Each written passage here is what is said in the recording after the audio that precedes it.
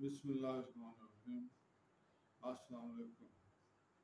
ناظرین، آج ہم بات کریں گے پیروں کی چنڈیوں کے بارے میں۔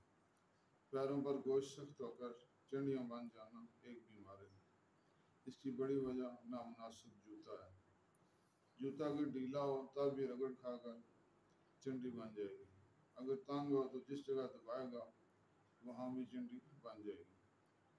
اور تکلیف کا باعث ہوگی پیروں کے علاوہ ہاتھوں سے کام کرنے والے ہنر مند افراد کے ہاتھوں پر بھی اپنے کام کے دوران اوزاروں کی رگڑ سے چنڈیاں بن جاتی ہیں۔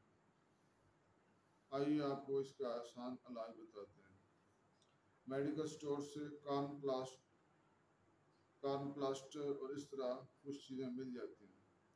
کچھ لوگوں کو ان سے فائدہ ہو جاتا ہے۔ وگرنہ آپ یہ مستند علاج کریں، آرام آ جائے گا۔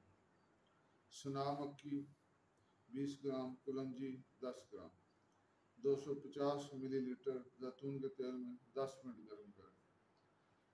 ٹھنڈا ہونے پر اسے چھان لیں اور اس میں تین گرام اینٹی منی سلفائڈ ملا دیں۔